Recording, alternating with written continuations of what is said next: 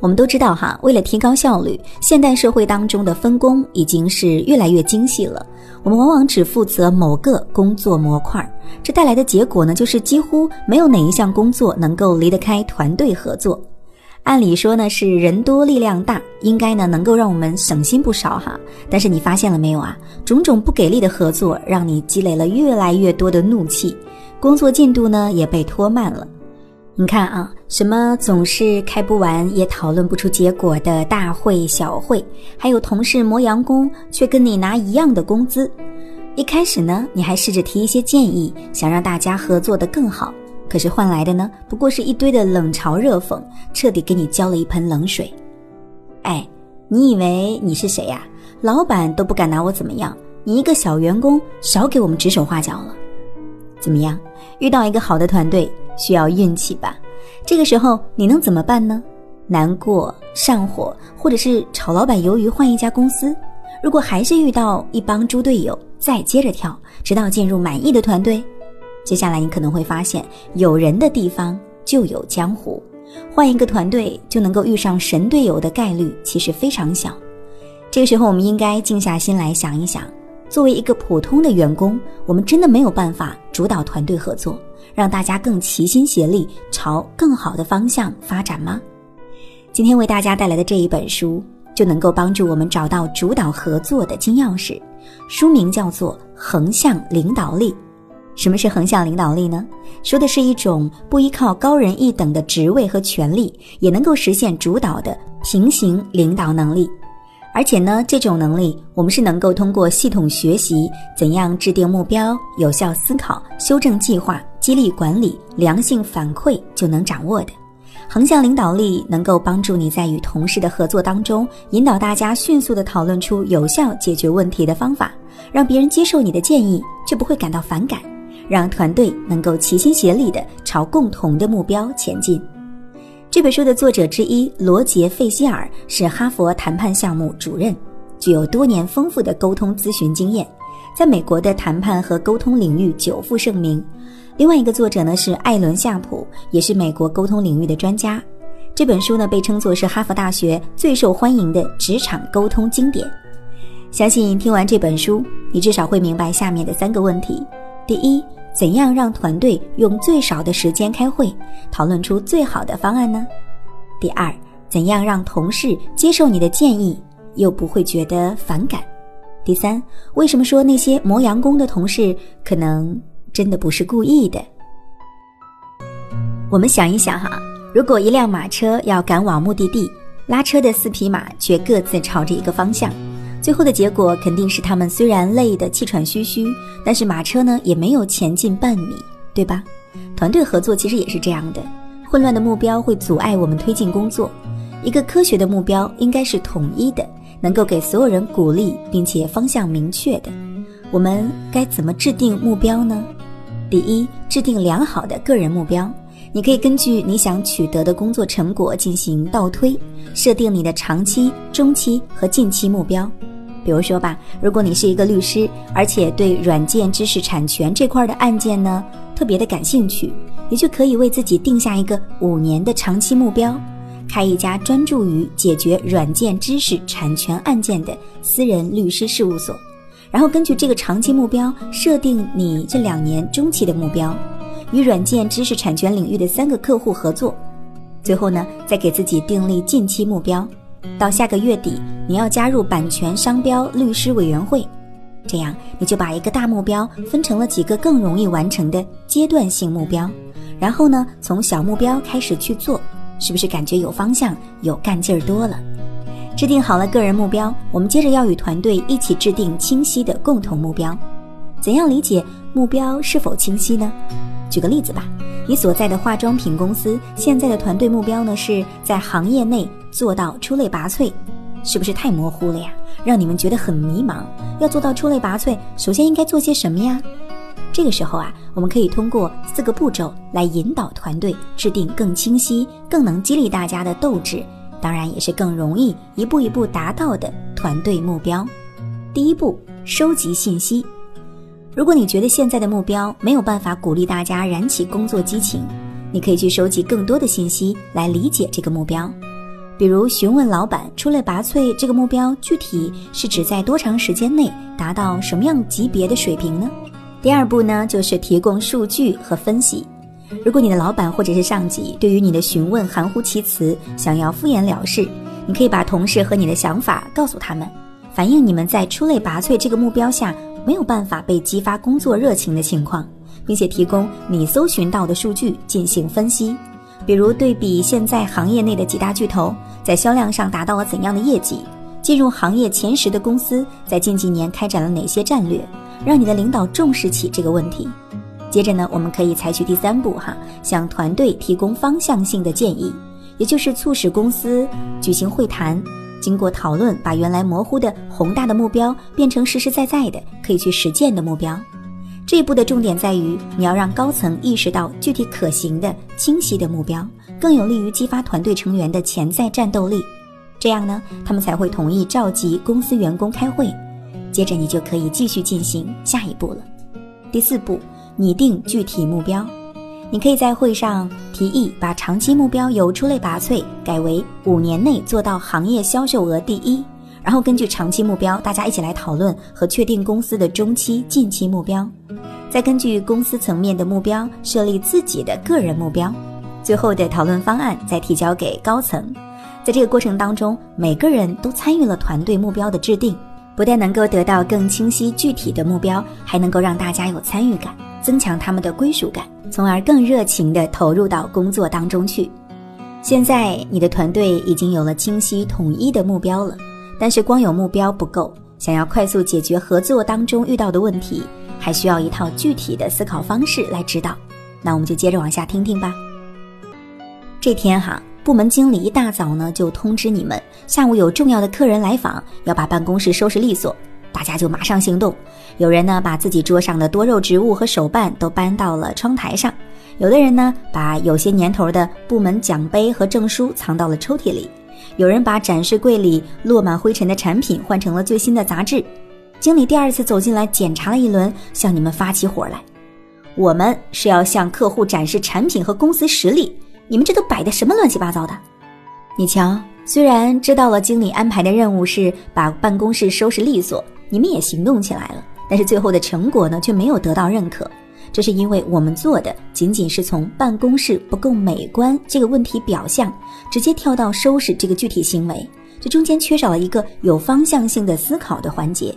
也就是还没有思考好就开始做了。导致我们只注意到办公室混乱的表面现象，却没有考虑办公室的陈设可以向客户展示产品质量和公司获得的荣誉这个更大的方向。在平时的团队工作当中，这样的情况实在太多了。接到工作任务以后，想一出是一出，想到哪儿做到哪儿。再加上组织不好的话，更容易让大家重复做工，既浪费时间又拉低了效率。不信呢，大家可以想一想哈，自己的单位里有没有出现过这种情况呢？那该怎么解决呢？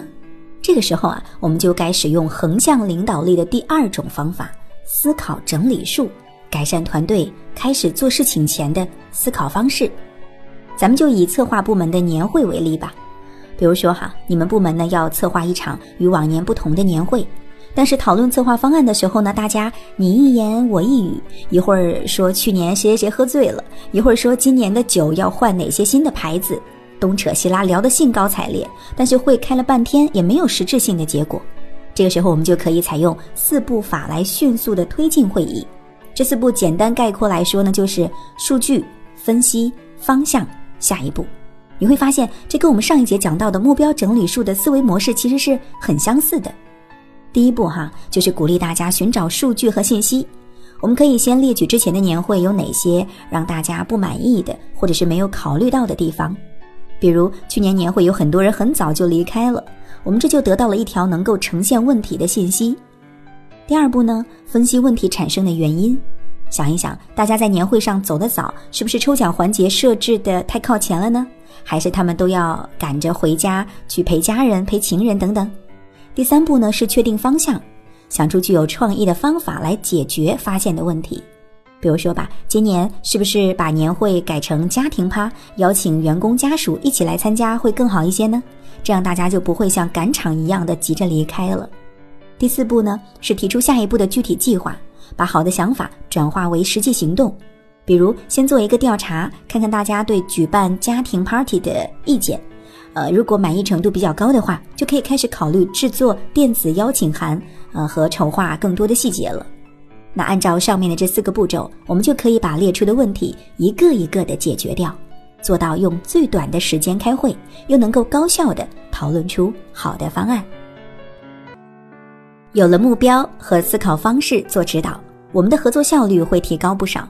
可是俗话说，计划赶不上变化，在实际操作的过程当中，难免会遇到这样那样意想不到的突发状况。因此呢，要想让团队合作的更好，还需要在合作当中不断的修正计划，并且进行学习，做到知行合一。这就是横向领导力的第三种方法——计划修正术。知行合一在具体的工作当中是怎么体现的呢？这里给大家提供一个参考模式哈，就是准备、行动、总结、再准备。比如你们公司要更新产品包装，你们要先对去年公司的产品的销售表现进行总结，设计出新的包装，这就是准备；将新包装投入市场，这是第二步迅速行动；对市场反应进行分析，是第三步总结；再根据总结再次改良包装，这是第四步再准备。这样不断的调整计划，在实践中学习和探索，你们设计的产品包装呢，就会越来越让市场满意。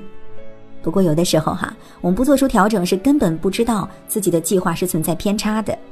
别担心，这本书呢给大家提供了四个小方法，来借助别人的力量，更好的在实践当中修正计划。方法一呢，就是提供数据。总公司下发了本年度的计划以后，你和同事呢觉得计划有些漏洞，这个时候你可以收集大家对于计划执行可能会遇到的问题的看法，并且委婉的反馈给公司总部，用数据说话。方法二是提供分析。如果你在操作上一个方法的时候遇到困难，比如说发现公司总部和其他同事都没有意识到沟通计划内容的重要性，你可以分别告诉他们。高层制定计划和基层实施计划的想法为什么会有出入？沟通协调之后能够怎样改善计划，帮助你们更好的为公司做出业绩？方法三：提供方向。如果你是分公司的员工，向你的上级描绘一幅良好的图景，那就是与总部做好沟通，能够减少工作开展当中多做大量无用功，这样分公司的业绩上去了。总部自然也会看到是他指导有方，得到提拔的可能也会大大的增加。这样你的上级就不会觉得你是在越级命令他，从而减少你在推动计划调整当中遇到的阻碍。方法四呢是采取行动。比如说，你可以试着比较各个分公司提交给总公司的工作报告，并且做出总结，看看是不是哪里出现了信息缺漏，导致总公司因为没有得到全面的信息，才制定出了让下级公司不太好开展工作的计划。虽然在实践过程当中不断调整会给我们带来不少收获，帮助我们提高和成长，但是在这个漫长的过程当中，不断发生的调整常常会使团队成员感到疲惫。更别提让那些平时就喜欢磨洋工的老油条做出改变了。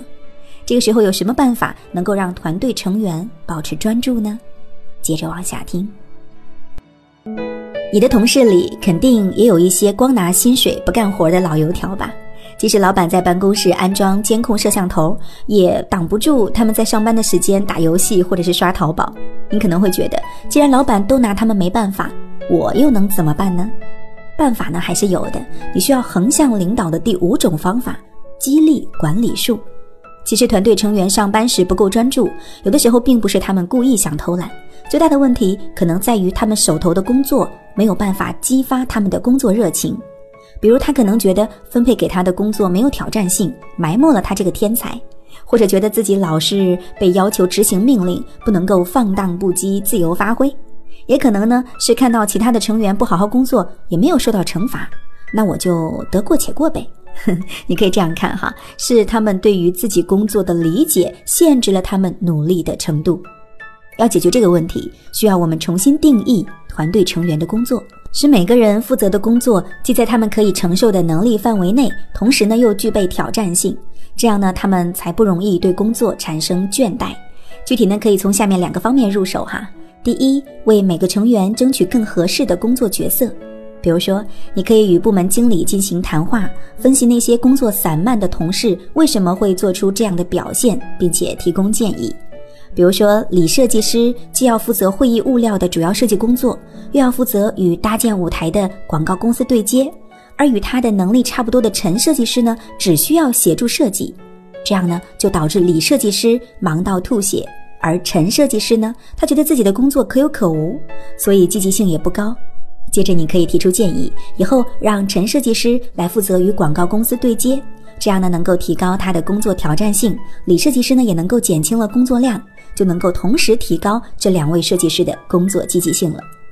第二呢，要多听一听团队成员的建议，这样做不但可以让你获得更多有用的信息和理念。更重要的是，被询问者会感到自己的工作是受重视的、有意义的，这样呢能够促使他们更专注地投入工作。比如，你可以耐心地询问工厂流水线上对洗发水进行灌装的工人，对提高流水线工作效率有什么好的建议，并且约定下个月你还是会找他进行回访。你会发现在接下来的一个月里，他一定会比其他工人都更认真地工作。好在你回访的时候能够提出更多的好建议。通过这两个办法，能够让你们的团队的精神面貌焕然一新。相对于独立工作而言，团队工作的最大优势在于可以通过相互之间的反馈，帮助我们自己和其他成员提高工作效率。不过，有的时候我们会发现，哈，在给别人评价和建议的时候，对方可能并不领情，甚至有的时候呢，还会冲你发火。怎么做好反馈呢？其中还是要讲一点门道的，这就是横向领导的第五种方法。反馈的艺术，我们不妨呢参考下面的三点建议。第一呢是表达感谢的时候，记得要针对人。值得注意的是，我们在表达感谢的时候，应该针对的是对方这个人，而不是针对他做出的行为。比如说，你可以这么说：“跟你合作是我的荣幸，辛苦你了。”而不应该说“你刚刚做得很好”。比起感谢他的做法，感谢对方会让他觉得你的夸奖是更真诚的。他会更受感动，以后把工作做好的积极性呢也会更高。第二呢，提出建议的时候针对事情。当然了，我们在提建议前要先肯定对方的工作方法。比如说哈，你刚刚营造的谈话氛围真轻松，让我感觉很舒服。还需要注意对方现在想不想听你提的建议，不能一上来就指手画脚说，哎，你应该怎么怎么怎么做。搞不好对方正因为跟老婆吵了架，正在气头上的，这个时候你来给他提建议，不是找骂吗？跟表示感谢相反，我们提建议的时候应该是对事不对人，因为这个时候的目的是为了改善工作，而不是评价对方这个人怎么样。比如你可以说，怎样劝客户接受这个方案？我觉得可以这样做。第三，先寻求和接受别人的反馈。你可以请求你的同事就一件具体的事情指导你，比如上一次我和客户开会的时候你也在，你觉得我有哪里做的不好的地方吗？人都是善于模仿的动物，一旦你这样做了，其他团队成员将来很可能也会主动的寻求和接受你的反馈，这样你们之间就建立了相互反馈的良性沟通模式，在工作上就可以一起学习和进步了。试着练习这三个技巧，一段时间后呢，你会发现团队成员做起事情来有默契多了。可能对方的一个微笑，你就知道该向正在谈判的客户提备用方案了。我们最后呢，再来回顾一下实现横向领导的五种方法。第一个方法是目标整理术。通过数据分析、方向、行动这四步，我们可以引导团队设立清晰可行的长期、中期和近期目标，让你的团队拧成一股绳，劲儿往一处使。第二个方法呢是思考整理术，让我们能够迅速发现问题，并且找到解决办法，这样你的团队呢就不用总是开又臭又长的会议，又讨论不出方案了。第三个方法叫做计划修正术。通过影响团队成员提供准备、执行、总结、再准备的工作循环模式，让我们在实践当中不断的学习和修正，保证团队在前进方向上不跑偏。第四个方法呢是激励管理术，我们通过向更有决定权的人分析团队成员工作散漫的原因，为每个成员争取更适合他们的角色，还要多听听其他同事的建议，并且及时回访，让他们获得更有效的激励。最后一个方法呢是反馈的艺术，表达感谢的时候针对人，让你的同事感觉自己受到关注；提出建议的时候针对事情，让对方觉得你不是在指责他。先向其他团队成员寻求反馈，这样他会更主动倾听你的建议，让你们形成良性的沟通循环，一起进步。你可能会问哈，在掌握这五种方法以后，怎样更好的运用呢？如果你发现，当你想在大家面前展现自己、实现主导时遇到了困难，不妨试试这三步，那就是提问、回答、行动。也就是说，针对我们前面讲到的每一种方法，你可以先给大家提出具有启发性的问题，然后提供你收集到的信息和想到的解决办法，接着开始行动，给大家做出榜样。比如说，在讨论年会策划方案的时候，你可以先抛出你发现了往年大家都走得很早这个问题，启发大家思考背后的原因，再提出可以改成开家庭趴的建议，并投入到筹划行动当中去。有了更多类似的这样的尝试之后，你慢慢的就能够带领团队进行高效愉快的合作了。好了，各位。今天呢，我们就讲到这里了。通过不断的练习目标整理术、思考整理术、计划修正术、激励管理术和反馈的艺术这五种方法，横向领导力让我们即使不是领导，也能够待人成事。